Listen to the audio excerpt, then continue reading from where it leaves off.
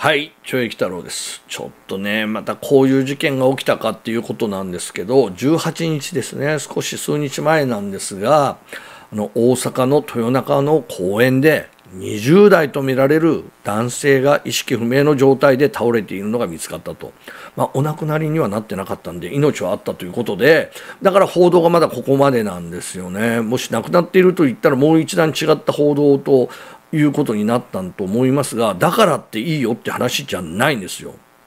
ね、で警察は現場から逃げた複数の男女複数の男女ですよ。暴行を受けたとみて行方を追っていると。ね。えー夜の10時頃事件ですね。が起きたのは複数の人の男女が男性に暴行していると。で通報を受けた警察が、えー住宅街にある公園に駆けつける、うん、で、えー暴行を受けたと思われる男性が仰向けに倒れていたと。倒れていたのはなんとまあ京都。ね。に住む20代の男性でタンクトップ1枚で下半身は裸の状態。顔は腫れて口から血を出ていたって意識不明の重体。意識不明までね殴る蹴るっていうのはなかなかなんですけどうん。で担架で目撃者の話だと担架で運ばれていったが全然動いてなかった、うん、で公園には男性のものとみられる衣服や現金が入った小銭入れなどが落ちていた、まあ、ちょっとここが小銭入れが落ちていたということは現金が入った小銭入れここポイントですね。はい。最初はあの若い子らがふざけているように感じたと。あの近隣の住人の人。喧嘩でもないし遊んでいるのかなっていうふうに思っていたと。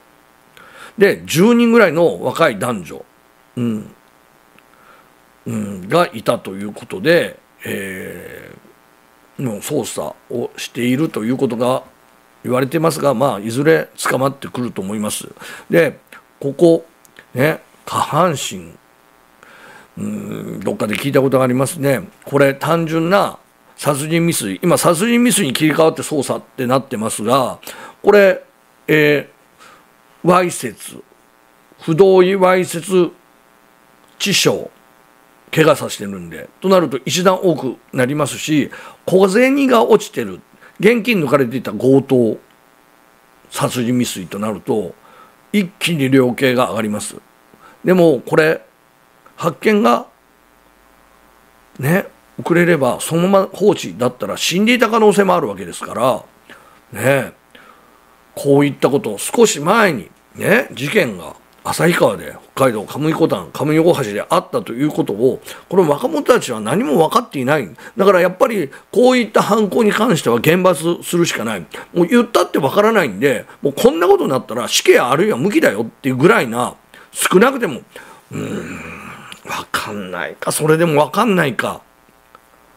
でもそれぐらいにしないとねもうこれ10人揃ってもうね長い刑務所にもう20年ぐらい生かさないといけないんじゃないか。うん。どこまでがどうとかってこれを、うん。ね一人に対して複数でいやいろんなことがあったと思いますよそりゃ。なんかね裏切ったとか嘘つかれたからやれとかっていう理由を言うんですよやっぱりこういう場合。でもそこまでする理由があるのかお金が目的なのかどうなのか。結局これ小銭入れが落ちていた。小銭は持っていかないけど大きいお金を持っていったっていうことになると全然内容は違いますからね。友人同士でもお金を持ってこれ強盗的なもの。意識がないぐらいの痛めつけてるわけですから同意の上で恐喝っていうふうにはならないのかなと。ね、未成年者も含むということなんでこれが18歳になってるのとなってないの10代というのはまた扱いが変わってくるんですよ。1年違うだけでこれ量刑がぐっと変わってくると。ね。まあおおよそこれ犯人ももうすぐ捕まることでしょう。うん。ね。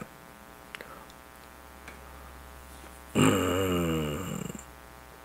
どういう形でこの集団が形成されてどういう形になってきたのかは分かりませんが、まあ、いずれ分かってまたねお話しする機会があると思います。以上です。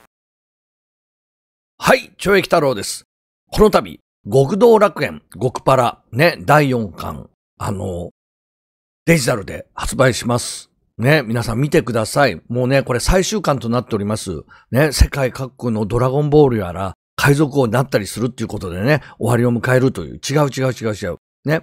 まあ、ここから、この売り上げが良ければまた復活するかもしれないということで、はい、皆様にね、愛されております。懲役太郎。私のね、幼少の、幼少のっていう、な、まあ、あの、私があったことも散りばめながら漫画になっております。はい。